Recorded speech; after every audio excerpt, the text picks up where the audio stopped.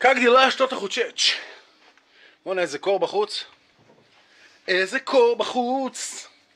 תגידו, אם אני שר, שר, אם אני שם ב- בפייסבוק, ביוטיוב עכשיו, שיר שלי, כן?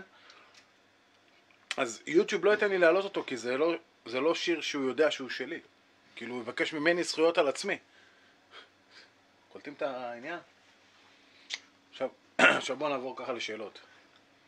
מי המציא את הבננה? ננה. זה לא הכל, הבננה, בננה, בננה. עכשיו, למה אני, למה אני נכנס לזה? אני מגיע פה למרכז, איזה שולחן וזה ופה ושם, קצת בגלה, קצת נס קפה, שותה לי איזה נס קפה, מתחמם לי החיים. אני אוכל עם זה בייגלה. דרך אגב, קוראים לזה בייגל, בייגלח. ואז אני רואה את הדבר הבא. דבר הבא. רואים? ברור מה זה? איך קוראים לעוגיה הזאת? ממולאת בשוקולד. איך קוראים לה? שאלה, נו, איך קוראים לה? אתן לכם רמז. לעוגיה הזאת קוראים על שם הבן אדם שהמציא אותה.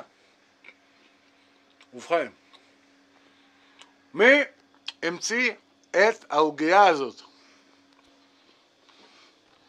מי המציא את העוגיה הזאת? תחשבו טוב. מי המציא את העוגיה הזאת? היא ממולאת, אני אתן לכם עוד רמז. העוגיה הזאת ממולאת. ב. שוקולד, בתותים. אוקיי, אני רואה שאף אחד אה, לא זה, אז אני אגיד.